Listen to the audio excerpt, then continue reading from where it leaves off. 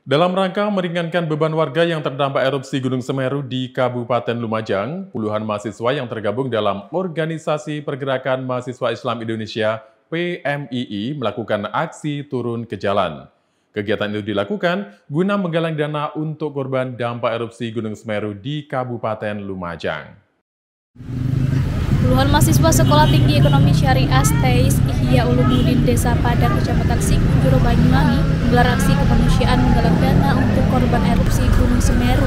Para mahasiswa yang tergabung dalam organisasi PMII itu melakukan aksi penggalangan dana di Jalan Raya Jember, tepatnya di depan kantor pos Rogo Jambi.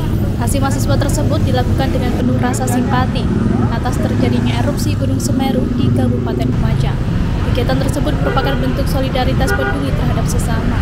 Imam Rosadi selaku koordinator aksi penggalangan dana menjelaskan dari hasil aksi penggalangan dana tersebut akan Semeru yang ada di Kabupaten Lumajang. Diharapkan aksi mahasiswa itu juga dapat sedikit membantu meringankan beban para korban bencana. Acara hari ini yaitu penggalangan dana. Kami dari Komisariat PMI Sekolah Tinggi Ekonomi Syariah atau STES uh, telah melakukan penggalangan dana untuk bencana uh, erupsi Gunung Semeru.